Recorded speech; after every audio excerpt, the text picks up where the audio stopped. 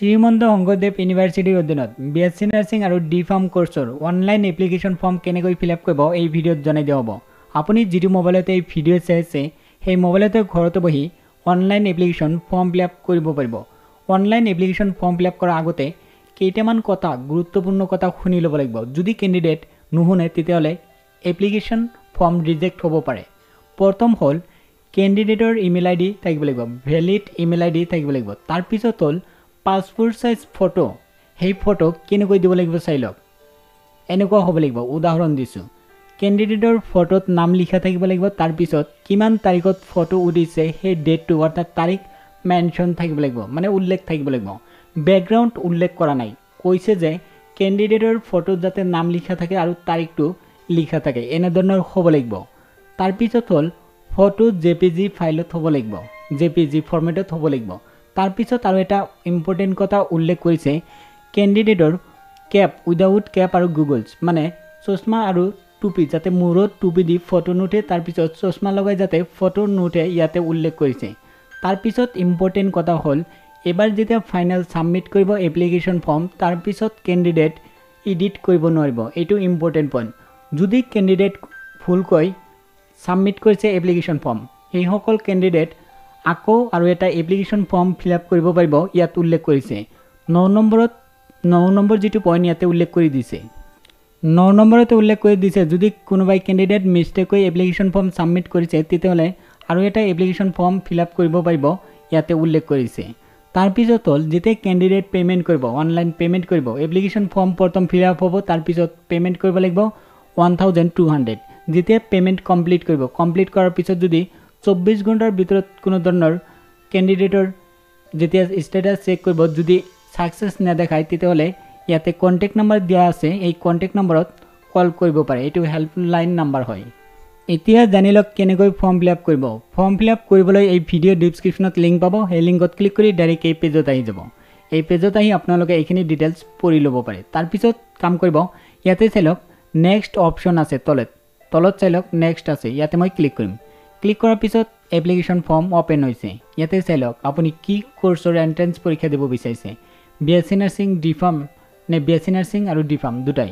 B S C nursing only ছোৱালীয়ে পাৰিব D farm ছোৱালী ল'ৰা ছোৱালী পাৰিব মানে ছাত্ৰ ছাত্ৰীয়ে ফিল আপ কৰিব পাৰিব। যদি বি এছ চি নাৰ্ছিং তেতিয়াহ'লে B S C nursing select কৰিব ছোৱালীবিলাকে। আৰু যদি ছাত্ৰবিলাকে ডি ফাৰ্ম পঢ়িব বিচাৰিছে এটা ছিলেক্ট কৰিব পাৰিব। কিন্তু ছোৱালীয়ে ডি ফাৰ্ম আৰু বি এছ চি নাৰ্ছিং দুটাই ফৰ্ম ফিল আপ কৰিব পাৰিব। এতিয়া মই ছিলেক্ট কৰিছোঁ বোথ মানে দুটা বি এছ চি নাৰ্ছিং আৰু ডি ফাৰ্ম তাৰপিছত ইয়াতে কৈছে যে এক নম্বৰ সুধিছে নেম অফ দ্য কেণ্ডিডেট যিজন কেণ্ডিডেট এপ্লাই কৰিব সেই কেণ্ডিডেটৰ ইয়াতে নাম লিখিব লাগিব। ইয়াতে কৈছে যে চাৰ্টিফিকেট বা মাৰ্কশ্বিটত যেনেকৈ লিখা আছে নাম ছেম টু ছেম এইটো বক্সত লিখিব লাগিব। তাৰপিছত দুই নম্বৰত কৈছে যে ফাদাৰ্ছ নেম কেণ্ডিডেটৰ দেউতাকৰ নাম দুই নম্বৰ বক্সত লিখিব লাগিব। তাৰপিছত মাকৰ নাম লিখিব লাগিব তিনি নম্বৰ অপশ্যনত তিনি নম্বৰ যিটো বক্স কেণ্ডিডেটৰ মাকৰ নাম লিখিব লাগিব। তাৰপিছত ইয়াতে ফিমেল ছিলেক্ট কৰিব যিসকল ছোৱালী হয় ল'ৰা হ'লে মেল তাৰপিছত ইয়াতে চাই লওক ডেট অফ বাৰ্থ মানে কেণ্ডিডেটৰ জন্ম তাৰিখ এইটো বক্সত এণ্টাৰ কৰিব লাগিব। প্ৰথম ডেট তাৰপিছত মান্থ তাৰপিছত ইয়াৰ তাৰপিছত ইয়াতে কৈছে যে thirty first December two thousand twenty এই সময়মতে কেণ্ডিডেটৰ বয়স কিমান হয় এইটো বক্সত লিখিব লাগিব। তাৰপিছত ইয়াতে কৈছে যে কেটেগৰী কি হয়? General O' B C M O' B C S C S T যিটো হয় আপোনাৰ সেইটো ছিলেক্ট কৰিব। তাৰপিছত ইয়াতে কৈছে কেটেগৰী যদি টিজিএল হয় য়েছ কৰিব যদি নহয় নহয়। যিসকল কেণ্ডিডেট টিজিএল হয় সেইসকল কেণ্ডিডেট য়েছ কৰিব। ই এক্স টিজিএল হ'লে য়েছ যদি নহয় ন' তাৰপিছত কৈছে যে চৰ এৰিয়া যিসকল কেণ্ডিডেট চৰ এৰিয়াত থাকে সেইসকল কেণ্ডিডেটৰ য়েছ যদি নহয় ন' কিন্তু চৰ এৰিয়াত চাৰ্টিফিকেট থাকিব লাগিব। তাৰপিছত চাই লওক ইয়াতে কৈছে যে হেণ্ডিকেপ নেকি? ফিজিকেল হেণ্ডিকেপ যদি হয় তেতিয়াহ'লে য়েছ যদি নহয় ন' তাৰপিছত কৈছে ইয়াতে ইণ্ডিয়ান ছিলেক্ট কৰিব ভাৰতৰ নাগৰিক হয়। তাৰপিছত ইয়াতে লিখিব লাগিব ইয়াতে কৈছে যে অসমৰ বাসিন্দা হয়নে নাই? আপুনি অসমৰ বাসিন্দা হয়নে নাই? য়েছ যদি নহয় ন' তাৰপিছত ইয়াতে এড্ৰেছ লিখিব দিছে। ইয়াতে লোকেল এড্ৰেছ ইয়াতে ভিলেজ বা টাউনৰ নাম লিখিব তাৰপিছত দুই নম্বৰ বক্সত পষ্ট অফিচ তাৰপিছত তাৰপিছত আপোনালোকে পি এছ অৰ্থাৎ থানাৰ নাম লিখি দিব। তাৰপিছত চিটি কি হয় আপোনাৰ চিটিৰ নাম উল্লেখ কৰিব। তাৰপিছত পিন নম্বৰ আপোনাৰ এৰিয়াৰ পিন নম্বৰটো ইয়াতে এণ্টাৰ কৰিব। তাৰপিছত ডিষ্ট্ৰিক্ট কি হয় ডিষ্ট্ৰিক্টৰ নাম লিখিব। তাৰপিছত ৰাজ্যৰ নাম আছাম বুলি ছিলেক্ট কৰিব।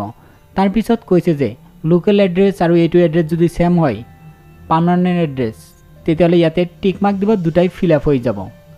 এইখিনি আপোনালোকে পাৰিব। চিটিৰ নাম পিন নম্বৰ ডিষ্ট্ৰিক্ট ৰাজ্যৰ নাম তাৰপিছত মোবাইল নম্বৰ আৰু ইমেইল আই ডি এইখিনি দিব লাগিব। এইখিনি দিয়াৰ পিছত তাৰপিছত তাৰপিছত কৈছে যে কেণ্ডিডেটৰ এক্সাম চেণ্টাৰ ক'ত পৰীক্ষা দিব। ইয়াতে চাই লওক বহুতকেইটা চেণ্টাৰ নাম উল্লেখ আছে। গুৱাহাটী ডিব্ৰুগড় শিলচৰ বৰপেটা আৰু তেজপুৰ। ইয়াৰ ভিতৰত যিটো আপোনাৰ ওচৰত হয় সেইটো ছিলেক্ট কৰিব। যিটো আপোনাৰ ওচৰত হয়। তাৰপিছত ইয়াতে চাই লওক ইয়াত কৈছে যে এইটো ইম্পৰ্টেণ্ট পইণ্ট ইয়াতে ছাবজেক্ট এপিয়াৰ কোনটোত হ'ব টিক মাৰ্ক দিব লাগিব। যিসকল candidate B S C nursing দিব বিচাৰিছে সেইসকল কেণ্ডিডেট বায়'লজি ছিলেক্ট কৰিব। এই দুটা বাধ্যতামূলক ফিজিক্স কেমেষ্ট্ৰি বাধ্যতামূলক তাৰপিছত ইয়াতে মেথমেটিক্স আছে আৰু বায়'লজি আছে। কোনটো দিব বিচাৰিছে সেইটোত টিক মাৰ্ক দিলেই হ'ল? যদি বায়'লজি দিব বিচাৰিছে বায়'লজি বা মেথমেটিক্স যদি দুটা দিব বিচাৰিছে দুটা ছিলেক্ট কৰিব পাৰে। তাৰপিছত ইয়াতে ইয়াতে কৈছে যে এইচ এছ পাছ কিমান চনত পাছ হৈছে সেই তাৰিখটো উল্লেখ কৰিব দিছে। তাৰপিছত দুই নম্বৰত কৈছে যে এইচ এছ পাছ কোন কলেজৰ পৰা হৈছে এই দুই নম্বৰ বক্সত বক্সত লিখিব লাগিব। তাৰপিছত বৰ্ড কি আছিল? SEBA C B S E যিটো আছিল সেই বৰ্ডৰ নাম এই তিনি নম্বৰ বক্সত লিখিব। তাৰপিছত ইয়াতে আপোনাৰ ছাবজেক্ট এইকেইটা উল্লেখ কৰিছে। English physics chemistry biology mathematics. ইয়াতে আপুনি লিখিব টোটেল মাৰ্ক ইংলিছত হাণ্ড্ৰেড হয়। এইচ এছ হাণ্ড্ৰেড মাৰ্কছৰ প্ৰশ্ন আহে তাৰ ভিতৰত কিমান নম্বৰ লাভ কৰিছে? ধৰি লওক আপুনি ছিক্সটি ছিক্সটি পাইছে। তেতিয়াহ'লে পাৰ্চেণ্ট কিমান হ'ব ইয়াতে উল্লেখ কৰিব লাগিব ছিক্সটি তাৰপিছত ইয়াতে চাই লওক ফিজিক্সৰ কিমান নম্বৰ প্ৰশ্ন আহে এক্সামত তাৰপিছত হাণ্ড্ৰেডৰ ভিতৰত কিমান পাব এনেকৈ লিখিব। তাৰপিছত কিমান পাৰ্চেণ্ট হয় এটা ছাবজেক্টৰ এইটো পাৰ্চেণ্ট যিটো হ'ব এটা ছাবজেক্টৰ হ'ব। তাৰপিছত কেমেষ্ট্ৰি বায়'লজি আৰু মেথমেটিক্স এইখিনি লিখি তাৰপিছত টোটেল কিমান পাৰ্চেণ্ট হয় ইয়াতে হিচাপ কৰি এইটো বক্সত এণ্টাৰ কৰিব লাগিব। তাৰপিছত হ'ল ফটো আপলোড কৰিব লাগিব। ফটো থাৰ্টি ফাইভৰ কে বিত তলত হ'ব লাগিব। থাৰ্টি ফাইভ কে বি হ'লে হৈ যাব যাতে ওপৰত নহয়। আৰু ছিগনেচাৰ থাৰ্টি কে বিৰ ওপৰত যাতে নহয়। ফটো জে পি জি ফাইলত হ'ব লাগিব আৰু মই প্ৰথম যেনেকৈ দেখাইছোঁ ফটো সেনেকৈ ফটো বনাব লাগিব। যাতে কেণ্ডিডেটৰ নাম লিখা থাকে তাৰপিছত তাৰিখ উল্লেখ থাকে ফটোত তাৰপিছত ছিগনেচাৰ আপলোড কৰি পাছৱৰ্ড বনাব লাগিব।